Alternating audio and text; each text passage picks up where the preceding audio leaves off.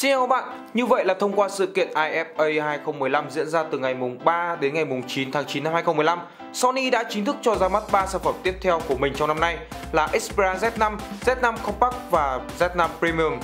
Cả ba sản phẩm đều mang những nét thiết kế quen thuộc của gia đình Xperia Z, vẫn đi theo thiết kế Omnibalance với kiểu dáng vuông vức, là sự kết hợp hoàn hảo của hai mặt kính và khung xương bằng kim loại với Z5 và Z5 Premium và khung xương làm bằng nhựa với Z5 Compact và thực sự là không có điểm gì quá nổi bật ở thế hệ tiếp theo này về khoản thiết kế. Tuy nhiên ở khoản cấu hình Sony không thể không khiến người ta phải chú ý.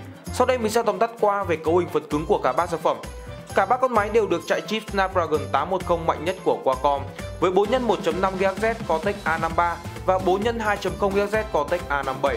Các đầu họa Adreno 430 kèm với 3GB RAM đi kèm cho Z5 và Z5 Premium. Còn Z5 Compact thì chỉ có 2GB RAM mà thôi. Camera của cả ba sản phẩm cũng được nâng cấp hơn so với phiên bản trước khá nhiều với cảm biến X-Mode RS 1 phần 2.3 inch, độ phân giải 23 megapixel cùng với khẩu độ là f2.0 thay vì 20.7 megapixel. Sony cho biết là camera mới trên bộ 3Z5 có khả năng lấy nét cực kỳ nhanh, chỉ mất 0,03 giây mà thôi. Công nghệ Clear Image Zoom 5X ISO khi chụp ảnh tối đa lên đến 12.800 và ISO tối đa khi quay video là 3.200.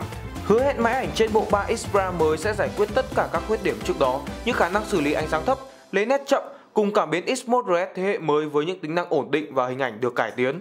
Một công nghệ đang rất phổ biến và được nhiều hãng trang bị cho những thiết bị của mình đó là cảm biến vân tay cũng đã được xuất hiện trên bộ 3Z5 này. Phím nguồn ở trên bộ 3Z5 không còn là một phím tròn nhỏ như trước nữa, mà thay vào đó nó đã được làm to ra để có thể thực hiện được việc cảm ứng vân tay. Tất nhiên là vị trí phím nguồn vẫn được đặt ở bên cạnh phải như thường lệ và thực sự là mình khá tò mò là không biết là cái cảm giác sử dụng nó sẽ khác như thế nào so với những phím cảm biến vân tay ở phía trước hay phía sau như các sản phẩm chúng ta thường thấy. Tuy nhiên những thông tin ở trên thực sự là vẫn chưa có gì gọi là đặc sắc lắm bởi nó là phần tất yếu mà hiển nhiên Sony phải làm cho flagship của mình nếu như không muốn người dùng bị thất vọng. Điều thu hút sự chú ý nhất hay có thể nói là gây sốc nhất cho giới công nghệ và cũng tốn nhiều bài viết nhất trên các trang báo gần đây. Đó chính là việc màn hình của Z5 Premium có độ phân giải lên tới 4K. Và như vậy, đây sẽ là smartphone đầu tiên sở hữu màn hình 4K trên thế giới. Có nhiều ý kiến cho rằng việc Sony trang bị màn hình 4K cho sản phẩm của mình ở thời điểm hiện tại chỉ mang tính chất marketing mà thôi hay còn có những nguồn tin cho rằng 4K trên Z5 Premium gần như chỉ là một tính năng và nó sẽ chỉ được kích hoạt với những tác vụ cụ thể. Còn ở chế độ bình thường thì màn hình chỉ ở mức 2K hay thậm chí là Full HD. Tuy nhiên, thực hư như thế nào thì phải đợi đến lúc chính thức bộ ba sản phẩm này được bán ra thị trường mới biết được. Ngoài ra còn có một thông tin nữa là sản phẩm Z5 và Z5 Premium sẽ có bản đua hai sim và tất nhiên, một khi chính thức có dòng sản phẩm này xuất hiện trên thị trường thì Clickbuy theo thói quen, thường sẽ cung cấp những sản phẩm hai sim, chắc chắn sẽ mang chúng về Việt Nam cho các bạn.